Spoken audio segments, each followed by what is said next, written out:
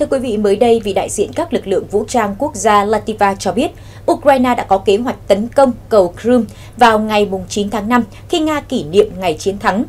Cầu Crimea, cây cầu dài nhất châu Âu nối phía nam nước Nga với bán đảo Crimea, có tầm quan trọng chiến lược với Moscow. Theo đó, ông Janis Sklydin, đại diện các lực lượng vũ trang quốc gia Lavia, đã nói rằng Ukraine có thể sẽ tấn công cây cầu có tầm quan trọng chiến lược này sau khi nhận được các lô vũ khí của phương Tây. Theo các quan chức quân sự của Latvia thì thiệt hại đối với cầu Crimea sẽ là một đòn nặng giáng vào Nga. Trước đó hôm 21 tháng 4, thư ký Hội đồng An ninh và Quốc phòng Ukraine Alexei Danilov nói rằng Nga đang sử dụng cây cầu dài 19 km bắc qua eo biển Kerch để đưa quân đội và vũ khí từ Nga tới Crimea và sau đó vào phía nam Ukraine. Các lực lượng Ukraine sẽ tấn công vào cầu Crimea ngay khi có thể. Ông Sklydin nói rằng Ukraine có thể sẽ tấn công cây cầu có tầm quan trọng chiến lược này sau khi nhận được các lô vũ khí của phương Tây. Theo quan chức quân sự Latvia, thì thiệt hại đối với cầu Crimea sẽ là một đòn nặng giáng vào Nga. Người phát ngôn Điện Kremlin Dmitry Peskov ngay sau đó đã gọi những bình luận của ông Danilov là không khác gì một thông báo về cuộc tấn công khủng bố tiếp theo, đồng thời nhấn mạnh rằng điều này không thể chấp nhận được. Theo người phát ngôn Điện Kremlin, thì cây cầu nối phía nam nước Nga với Crimea đang được bảo vệ nghiêm ngặt và Nga sẽ chặn các cuộc tấn công có thể xảy ra. Phó Thủ tướng Ukraine Irina Vereshchak hôm qua mùng 6 tháng 5 đã xác nhận nước này vừa tiếp nhận từ Nga 41 người, bao gồm 28 quân nhân và 13 dân thường, trong đợt trao đổi tù binh và người dân. Tuy nhiên, Phó Thủ tướng Ukraine không tiết lộ cụ thể số người Nga được trả tự do trong đợt trao đổi tù nhân này. Được biết, trong số những người được Nga trao trả cho phía Ukraine, có một thành viên trong giới tu sĩ của nhà thờ chính thống giáo Ukraine. Kể từ khi Nga mở chiến dịch quân sự đặc biệt ở Ukraine, hai bên đã tiến hành một số hoạt động trao đổi tù binh. Đợt trao đổi tù binh gần đây nhất diễn ra vào hôm 30 tháng 4. Trước đó vào ngày 24 tháng 3 vừa qua, Nga và Ukraine đã tiến hành trao đổi tù binh lần đầu tiên kể từ khi xung đột bùng phát. Cùng ngày, khi được hỏi về những điều kiện tối thiểu để tiến tới một thỏa thuận hòa bình nhằm chấm dứt xung đột gần đây giữa Nga và Ukraine, Tổng thống Ukraine Volodymyr Zelensky một lần nữa nhắc lại quan điểm cho rằng binh lính Nga phải rút lui để Ukraine có thể giành lại quyền kiểm soát tất cả lãnh thổ của nước này như trước khi Nga mở chiến dịch tấn công quân sự.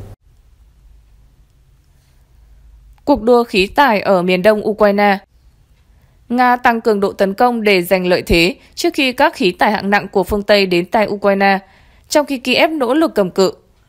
Sau hơn một tháng chuyển trọng tâm sang miền đông Ukraine, Nga đã dần đạt được một số bước tiến trước đối thủ đang ngày càng thiếu thốn khí tài trang bị. Lực lượng Nga đã kiểm soát được gần như toàn bộ thành phố Mariupol, tăng cường bao vây thành phố Severodonetsk ở đông bắc Ukraine và củng cố khả năng kiểm soát Kherson.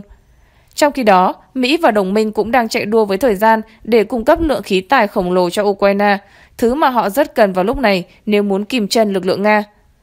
Cả hai bên đều đang chiến đấu dữ dội, đều hứng chịu thương vong lớn và trận chiến ở miền đông Ukraine đang trở thành cuộc đua quyết liệt, với cột mốc là thời điểm các khí tài hạng nặng của phương Tây đến được tay lực lượng tiền tuyến của Ukraine. Theo giới phân tích cũng như các quan chức Mỹ và phương Tây, nếu các đơn vị Ukraine ở miền Đông có thể cầm cự đến khi số khí tài viện trợ này đến tay, họ rất có thể sẽ đảo ngược được cục diện chiến trường. Trong khi đó, lực lượng Nga đang chịu áp lực phải giành được lợi thế áp đảo trước khi khí tài từ phương Tây đến tay Ukraine, cũng như chuỗi cung ứng khí tài, nhu yếu phẩm của họ đối mặt thêm nhiều khó khăn. Quân đội Nga hiện vẫn trong quá trình tái điều động lực lượng và tiếp tế hậu cần nhằm bổ sung cho các đơn vị đã bị tiêu hao trong những tuần chiến sự đầu tiên, đồng thời chậm rãi tiến vào miền đông Ukraine. Nga cũng đang đẩy mạnh các cuộc tập kích tên lửa nhằm vào kho dự trữ nhiên liệu, đạn dược và những cơ sở hạ tầng quan trọng khác của Ukraine, trong đó có các tuyến đường sắt được sử dụng để vận chuyển khí tài. Tình trạng thiếu nhiên liệu ngày càng tăng trên khắp Ukraine làm dấy lên lo ngại về khả năng duy trì nguồn cung cho tiền tuyến. Nếu chúng ta không thể cung cấp đủ những thứ mà Ukraine cần để tấn công và hủy pháo binh, tên lửa và binh lực Nga trước khi họ hoàn thành quá trình tái bổ sung lực lượng, cuộc chiến này có thể sẽ kéo dài rất lâu. Ben Hodge, cựu tướng chỉ huy quân đội Mỹ ở châu Âu nói, sau đó họ sẽ củng cố lực lượng và chờ cho đến khi phương Tây không còn quan tâm đến Ukraine nữa. Mỹ và các đồng minh đang đặt niềm tin vào quân đội Ukraine, lực lượng đã thể hiện hiệu suất chiến đấu vượt xa những đánh giá ban đầu. Đây là một bước thay đổi chiến lược lớn so với những tuần đầu tiên của cuộc chiến, khi chính quyền Tổng thống Mỹ Joe Biden từng đề nghị đưa Tổng thống Ukraine Volodymyr Zelensky đi sơ tán và lên kế hoạch thành lập một chính phủ lưu vong tại Ba Lan. Bộ trưởng Quốc phòng Lloyd Austin tuyên bố mục tiêu hiện tại của Mỹ là làm suy yếu Nga đến mức sẽ không thể lặp lại những gì đã làm với Ukraine trong tương lai. Nhưng để làm được điều đó trên thực địa, Ukraine cần nhận được các lô khí tài hạng nặng, đặc biệt là pháo tầm xa, và binh sĩ Ukraine phải được huấn luyện để sử dụng các hệ thống khí tài mới của phương Tây. Quá trình này đang diễn ra nhưng sẽ phải mất nhiều tuần. Mỹ và các đồng minh phương Tây đang đẩy nhanh tiến độ chuyển giao khí tài như đã hứa, nhưng việc chuyển chúng từ Đông Âu vào Ukraine sẽ đòi hỏi nỗ lực hậu cần chưa từng có vào thời điểm các tuyến đường vận chuyển chính liên tục bị tên lửa Nga tập kích. Hot đánh giá. Những ngày gần đây, đà tiến quân của các lực lượng Nga đã chậm lại. Trong khi đó, Ukraine đang tổ chức một số đợt phản công tái kiểm soát lãnh thổ, đặc biệt là xung quanh thị trấn vùng Đông Bắc Kharkov. Giới chuyên gia phương Tây đánh giá Nga vẫn chưa cho thấy họ đã khắc phục được những thiếu sót từng cản trở nỗ lực kiểm soát Kiev, trong đó có vấn đề hậu cần hay hệ thống chỉ huy kiểm soát chưa hiệu quả. Tuy nhiên, quân đội Nga đã điều chỉnh chiến thuật phù hợp với địa hình chống trải, bằng phẳng của vùng Donbass, giúp mang lại lợi thế cho họ trước quân đội Ukraine, vốn linh hoạt hơn nhưng trang bị nghèo nàn hơn. Tốc độ tiến công chậm của Nga dường như là một nỗ lực có chủ ý nhằm giảm thương vong, rút kinh nghiệm từ những tuần đầu tiên của cuộc chiến khi đoàn xe quân sự Nga kéo dài hàng km trên các con đường hẹp dợp bóng cây, trở thành mục tiêu phục kích dễ dàng cho quân Ukraine. Giờ đây, lực lượng Nga tập trung bên ngoài phòng tuyến của Ukraine, pháo kích dữ dội vào mục tiêu, hủy các trận địa kháng cự, sau đó mới tiến vào khi quân đội Ukraine buộc phải rút lui. Trong một số trường hợp, quân đội Nga sau khi chiếm được các ngôi làng đã quyết định rời đi. Lực lượng Ukraine chỉ đơn giản quay trở lại chỗ cũ. Khi các thị trấn làng mạc liên tục thay đổi, phe kiểm soát mỗi ngày dọc theo chiến tuyến dài hơn 480 km, rất khó để xác định bên nào đang chiếm lợi thế trên chiến trường, giới chức Mỹ đánh giá. Chiến thuật của Nga đang gây áp lực lớn lên quân đội Ukraine trong bối cảnh họ cũng đã bắt đầu mệt mỏi, kiệt quệ sau hơn 2 tháng liên tục chiến đấu trên nhiều mặt trận. Ukraine chưa cập nhật con số thương vong của mình nhưng đã thừa nhận rằng họ đang chịu tổn thất nặng nề. Chúng tôi không phải siêu nhân, chúng tôi cũng chịu thương vong. Alexander Daniliuk, cố vấn quốc phòng và tình báo của chính phủ Ukraine cho biết trong một cuộc phỏng vấn. Khí tài Ukraine cần nhất lúc này là pháo hạng nặng tầm xa để họ có thể tấn công sâu vào phòng tuyến của Nga. Bộ trưởng Quốc phòng Mỹ Austin cho biết trong một phiên điều trần tại Thượng viện hôm 3 tháng 5 rằng những khẩu lựu pháo 155mm mà Washington hứa viện trợ cho Kiev đã đến tay các lực lượng Ukraine và đang được sử dụng. Các lô hàng tiếp theo của Mỹ sẽ gồm có xe bọc thép Humvee, thiết giáp chở quân M113, trực thăng Mi-17 cùng hàng trăm nghìn viên đạn các loại. Đàm phán Nga-Ukraine bế tắc, xung đột có chiều hướng gia tăng, Cuộc xung đột Nga-Ukraine đã bước vào tháng thứ ba mà chưa ai biết kết cục sẽ ra sao.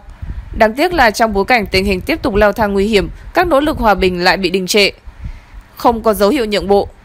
Cuộc xung đột giữa Nga và Ukraine đang trở nên khốc liệt hơn, trong khi Mỹ và các đồng minh gấp rút viện trợ thêm nhiều xe tăng, pháo, đạn dược cho Ukraine nhằm giúp nước này tăng cường khả năng phòng thủ và kháng cự, thì quân đội Nga đang quyết tâm giành được những mục tiêu đề ra bằng cách đẩy mạnh các cuộc tấn công, trong cuộc họp báo tối mùng 5 tháng 5, người phát ngôn chính thức của Bộ Quốc phòng Nga cho biết lực lượng không quân vũ trụ Nga đã tiến hành các cuộc không kích vào 45 mục tiêu quân sự của Ukraine, trong đó có hai sở chỉ huy, 41 điểm tập trung nhân lực và thiết bị quân sự của Ukraine, cũng như một kho khí tài tên lửa và pháo. Theo các chuyên gia, vẫn chưa có dấu hiệu cho thấy Nga muốn chấm dứt chiến dịch quân sự. Ông Ziahak, giám đốc Viện Nghiên cứu Hòa bình và Xung đột Baker nhận xét, Ông Vladimir Putin có lẽ đang muốn tìm kiếm một thắng lợi lớn để Nga có thể đạt được các điều khoản mà nước này đưa ra trong cuộc đàm phán. Còn về phía Ukraine, phát biểu trên chương trình Face the Nation của CBS, ông Denis Mihan, Thủ tướng Ukraine khẳng định Tôi nghĩ rằng cuộc chiến này chỉ kết thúc khi chúng tôi quét sạch các lực lượng Nga ra khỏi lãnh thổ của mình. Những diễn biến trên cho thấy không bên nào tỏ ra sẵn sàng nhượng bộ. Ông David Patros, cựu giám đốc Cục Tình báo Trung ương Mỹ CIA cho rằng Chắc chắn sẽ có sự thương lượng, nhưng đến lúc đó sẽ có rất nhiều cuộc giao tranh diễn ra khi mỗi bên cố gắng gia tăng đòn bẩy cho chính trên bàn đàm phán. Theo ông David Patrios, đây sẽ là một cuộc chiến hao người tốn của và nó không chỉ diễn ra trên chiến trường mà còn tác động đến hệ thống tài chính, kinh tế và cộng đồng doanh nghiệp của cả Nga lẫn Ukraine. Trong khi đó, phương Tây đang đẩy nhanh việc viện trợ quân sự cho Ukraine.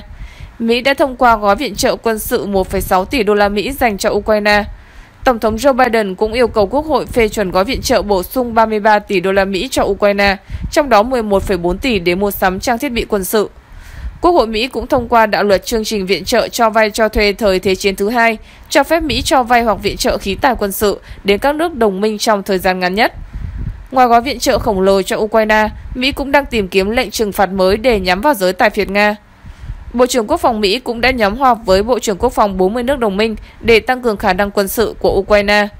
Lầu Năm Góc cho biết Mỹ muốn nhìn thấy Nga suy yếu và tin rằng Ukraine có thể giành chiến thắng trong cuộc chiến nếu có khí tài thích hợp. Phương Tây cũng đang tính đến một sự viện trợ dài hạn dành cho Kiev. Hiện tại, mỗi ngày có khoảng 8 đến 10 chuyến bay chuyển khí tài đến các căn cứ NATO nằm gần Ukraine, chủ yếu là Ba Lan và Romania.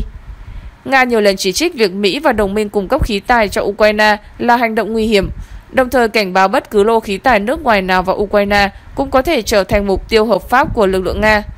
Hiện Nga đang nỗ lực cắt đường viện trợ khí tài của phương Tây cho Ukraine. Ông Evgeny Buzinski, Chủ tịch Trung tâm Nghiên cứu Chính trị Nga khẳng định, tất cả khí tài được vận chuyển vào Ukraine từ Ba Lan, chúng được tập hợp ở phía Tây của Ukraine và sau đó được vận chuyển bằng đường sắt đến chiến trường phía Đông. Con đường này nên được cắt bỏ ngay lập tức. Viện trợ khí tài và phá kho khí tài được viện trợ. Cả Nga và phương Tây đang ăn miếng trả miếng nhau, khiến cuộc chiến tại Ukraine ngày một kéo dài. Tổng thống Zelensky mời Thủ tướng Đức thăm Ukraine vào ngày 9 tháng 5.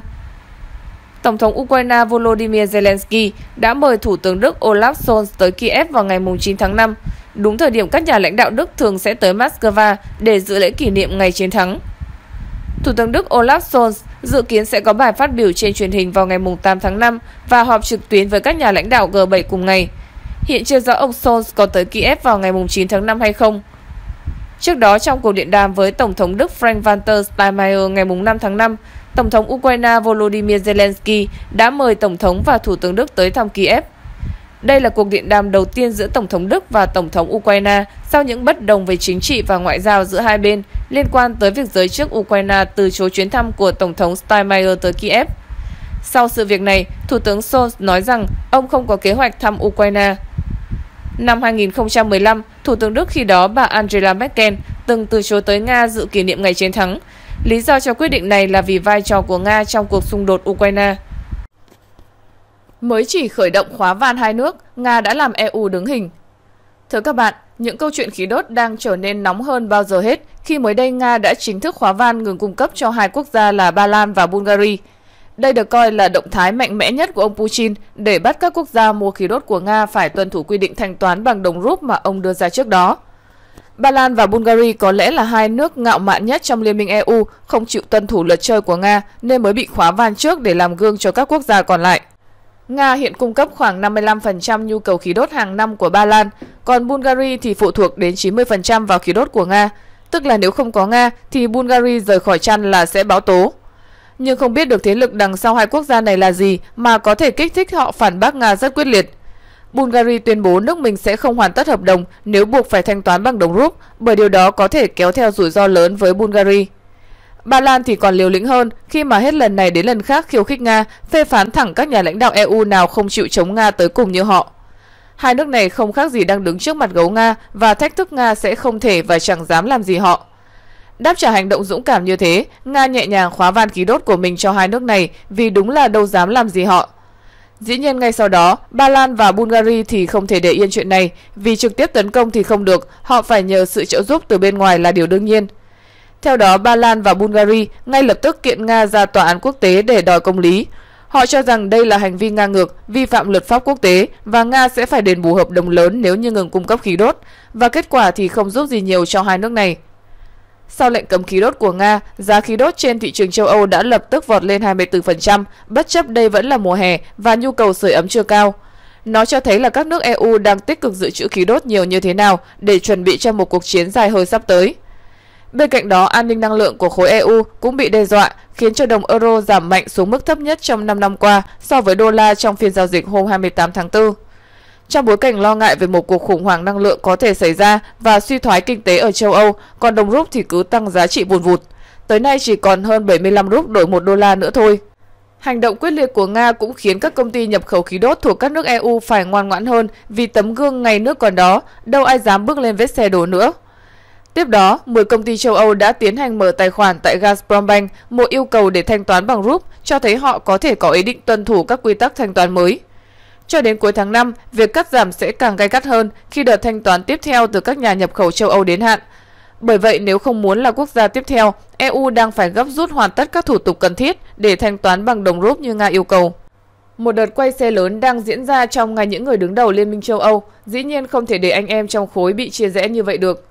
Chủ tịch Ủy ban châu Âu Ursula von der Leyen kêu gọi những tuyên bố của Nga về việc ngừng cung cấp khí đốt cho một số quốc gia là một nỗ lực nhằm tống tiền. Đồng thời nói thêm rằng EU đã sẵn sàng cho một kịch bản như vậy và đang lên kế hoạch đáp trả. Phía Nga thì không đồng tình với ý kiến này. Thư ký báo chí của Tổng thống, ông Dmitry Peskov nói đây không phải là hành động tống tiền. Nga đã và vẫn đang là nhà cung cấp nguồn năng lượng đáng tin cậy cho người tiêu dùng và Nga vẫn cam kết thực hiện các nghĩa vụ theo hợp đồng. Nhu cầu này được quyết định bởi thực tế là như quý vị đã biết, một lượng lớn dự trữ của chúng tôi đã bị đánh cắp và tất cả điều này đòi hỏi phải chuyển đổi sang hệ thống thanh toán mới. Do đó chúng tôi không nói về bất kỳ hành vi tống tiền ở đây. Phương thức mới này đã được thông tin tới người mua, chúng tôi hoàn toàn không đồng ý với định nghĩa này. Ông nói rằng điều khoản của phương thức thanh toán mới đã được ấn định trong sắc lệnh của Tổng thống Liên bang Nga và sự cần thiết phải chuyển sang phương thức mới là do các nước không thân thiện với Nga đang lấy cắp tiền của họ. Video đến đây là hết. Cảm ơn các bạn đã quan tâm theo dõi. Nhớ bấm like, share và đăng ký để không bỏ lỡ bất kỳ tin tức mới nào từ chúng tôi. Xin chào và hẹn gặp lại các bạn trong những video tiếp theo.